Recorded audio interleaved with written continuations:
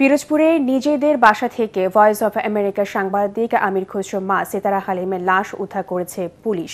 সকালে শহরের সিআইপাড়া বাসা থেকে লাশটি উদ্ধার করা হয়। সিতারা হালিমের মেয়ে সালাম আরজু জানান, বাসার দ্বিতীয় তলায় তার মা একা থাকতেন।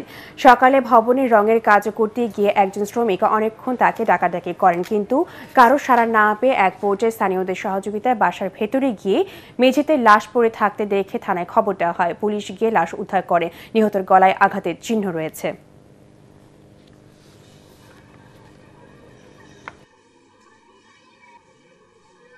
পিছন দিয়ে উঠছে উঠে দেয় পিছনে গেট খোলা এরপর তো ওরা উঠে দেখে দেখে আম্মা শোয়া সব এলোমেলো উল্টা পাল্টা গলাতে একটা লালচে দাগ আছে যেটা আমরা মনে করতেছি হয়তো কোনো মানে রশি অথবা করা